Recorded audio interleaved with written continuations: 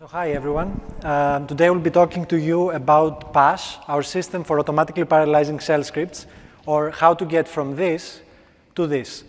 Uh, in this talk, I'll go over the overarching research around PaSh and focus on its just-in-time component. Uh, our system is open source, you can find it here, and it's supported by the Linux Foundation. Uh, before I start, uh, I, I, I, should say that this is joint work with many amazing people, uh, including some of whom are in the audience here, Tammam, Achilles, and Michael are in the audience. Uh, and um, we build on work by many others that helped uh, throughout this PaSh project. And also, Michael and Nikos are both hiring students, so contact them if you can and if you want to work on the shell. We have a lot of ideas. So let's start from the shell, from, from, from the beginning. So the shell is used by everyone. It's ubiquitous. You can use it for orchestration, data processing, automation tasks, you name it. I mean, in both keynotes we heard it. You, you, people use the shell a lot. So, um, uh, and don't take my word for it. Um, uh, it's, it's, it has been steadily on the top 10 of programming languages based on the GitHub survey. So the shell is actually unavoidable. And uh, why is that? It's ubiquitous because it has many great properties. So the shell allows for universal composition. So it can compose arbitrary commands using files and pipes, allowing users to create powerful and very succinct scripts. Uh, it's Unix native, um, so it is well suited to, to, files and strings, which are abstractions used uh, in Unix. And it's also interactive. And so the complete system environment is accessible, and you can quickly experiment uh, with, uh, to achieve what you want. And no other programming environment can substitute it. Um, so let's look at an example of a script to see how the power of the cell. So this script here computes the maximum temperature in the US for the years 2015 to 2019, based on data from, uh, from some national organization. And to do so, it first fetches um, the indexes of temperature data archives. It then downloads this archive data, um, and then it extracts this data with gunzip. It cleans the data, and then it computes the maximum by sorting and uh, taking the first line of, uh, of the output. The first three steps, we can call them pre-processing, and the rest processing. And this script, uh, we took it from the, uh, the, the pre-processing part of the script, actually. We took it from uh, the Hadoop book, um, uh, where it's used for an exercise, so the part until the gunzip. and the final two lines replace the MapReduce program in the Hadoop book. And this program was actually equivalent uh, to this, and it was 150 lines of Java code. I don't know, I, this feels really, really easy to, to, to compute the maximum temperature. So the shell is great, uh, this script shows that, um, but most shell scripts are sequential, um, and uh, they have actually more issues. We'll come back to that later. Um, and parallelizing them requires a lot of manual effort. You can use specific command flags like dash p for short or G, um, parallelization tools GNU parallel. You can rewrite your scripts. But, but that's, that's pretty hard. And uh, um, I mean, we don't want our kids to, to come to this world like this. It's, this is not good. So enter, enter PaSh. So PaSh is a shell-to-shell -shell compiler that exposes latent data parallelism in, in shell scripts. And it does so by translating shell scripts to a data flow model abstraction that we have. It parallelizes data flow, these data flow graphs, and then it turns them back to shell scripts.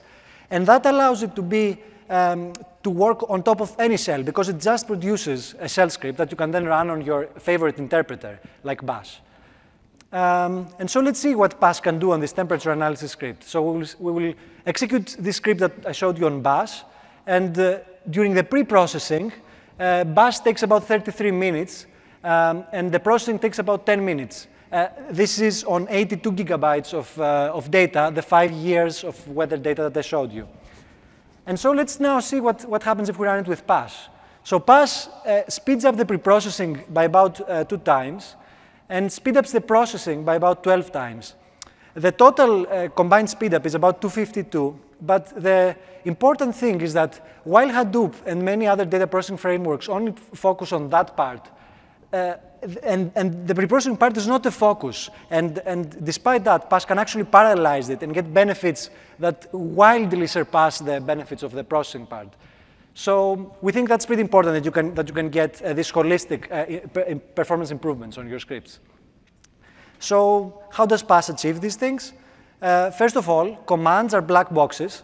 Uh, and we cannot run an analysis on any, on any command that you have because they can be arbitrary binaries. So what PaSh does is, is it introduces a command specification framework that uh, relates command invocations to, to um, a more um, clean and elegant abstraction, that of data flow nodes that we can then manipulate and, uh, and parallelize. And, um, and, the important thing about the annotations is also that they, they, they allow us to turn commands to nodes and also back to command invocations to create data flow um, shell scripts from the data flows. Um, and we also introduce an order-aware data flow model uh, where uh, we do parallelizing transformations on it. And this model is formalized, and we have proven these transformations correct. So up to this point, uh, this is, this is uh, just context of the PaSh framework, and you can read more about this in our papers uh, um, in, at EuroSys and ICFP. So PaSh follows the static way, performing parallelization ahead of time. And this is guided by discussions that we had with several programming languages researchers. So to refresh your memory, you should do a static analysis. Do a static analysis. A type system. You should do a static analysis. Static analysis. So that's what PL researcher thinks. Uh, and that should be okay, right? I mean, uh, no, actually no. So these, these cells here are furious that we even thought that static analysis is correct for this, for this kind of purpose. So in reality, uh, the, reality is much more complex, and the shell is very dynamic. So look at the script here. Uh, it depends, its execution depends on the current directory, on environment variables, on unexpanded strings, on the state of the file system. This ls here will uh, create a string of all the files in the system. This is, this is madness. And uh, static parallelization has to choose to be either sound but conservative, aborting when encountering dynamic information, or unsound and optimistic, assuming that variables will not change throughout the script. But this assumption is not, is not really, is not really uh, valid. So here is, is where our just-in-time approach comes in. So PaSh-JIT tries to parallelize as late as possible, providing all the critical information to the compiler, such as the state of the shell, the variables, the directory, the files. And that is not only correct, but it also allows it to be faster due to this just-in-time nature. And, and how does it achieve it? By constantly switching between evaluation and parallelization. So to explain that in, at a high level, I will, I will, guide you through an example of uh, the execution of, this, of the end of the script that I showed you um, on, on, on PaSh. So what will happen with the script? Uh, it, it, will start executing in the shell. Uh, it, it, has these two uh, values for these environment variables, and it will try to expand this, this variable here. Um, as you can see, uh, out was not uh, set, so it, it, defaults to top.out uh, slash out. Great. So we now move to this. ls run, and it had two files in this directory. And now we arrive to this pipeline here, and PaSh here stops, stop the, stops the shell and checks if it can actually parallelize it, because it's a potentially parallelizable and a place that it can get benefits from. And so it will try to parallelize. And before parallelizing, it will ask the shell to expand the strings. So it will go back to the shell and, and ask it, could you please expand the strings for me? And then the shell will expand them. And then PaSh can now parallelize this fully expanded static pipeline and it will succeed, and it will create a parallel script that it will instead uh, give to the shell to run. So um, I will now show you um, uh, an overview of PaSh and its architecture and how it achieves these things. And the important goal that, that PaSh also satisfied is that we do not want to, to uh, be tightly coupled to a specific cell. So the way that PaSh-JIT uh, uh, succeeds in that is that it uses a preprocessor that replaces all potentially parallelizable regions. And this, this replacement does not need to be precise because at runtime we will determine whether we can actually parallelize. Uh, we have re-implemented the parsing library uh, that allows us to parse and unparse scripts, um, uh, that, and this is used by both the preprocessor and the compilation server. Uh, then we have the just-in-time engine, which is actually simply just a shell script that um, saves the, the, that essentially makes uh, uh, the parallel execution transparent from the perspective of the shell and the user. And then we have the compiler that does the compilation as I showed you. And finally, all of this is simply executed on the user shell that has no idea that it's not given the original script that the user intended. And let's zoom in a little bit to some of these components. So let's first zoom into the JIT engine. So the JIT engine, its goal is to hide the compilation from the perspective of the shell. And to do that, it, it has the following, um, this is a diagram of its, of its uh, workflow. It first saves the shell state and, uh, and stores it somewhere and uh, enters a pass, pass state. And then it queries the parallelizing server to ask it to compile um, that particular uh, parallelizable, potential parallelizable fragment. Then it recovers the state of the shell and it simply um, executes either the optimized version, the parallel, or the original if parallelization failed for whatever point. So this, this allows it to be highly compatible because um, uh, from the perspective of the shell, nothing has changed. Uh, and there were a lot of tiny details that we have to deal with here, and you can find about, uh, out about those in our paper if you read it. Um, now we'll talk a little bit about the compilation server. So the compilation server um, originally, PaSh was a, a, compiler that you invoked and it produced a parallel script, but we, we changed its structure to a, a, a long-living stateful compilation server. And this reduces latency because it does not require any initialization and keeps all the state in memory. Uh, and this is necessary for the feasibility of this in practice because in tight loops, um, the milliseconds count um, uh, for, for, small scripts. Uh, and this compilation server also enables additional optimizations. So one of them is that it can now parallelize independent fragments that were not parallel in the, in the original script. For example, iterations that simply touch different files.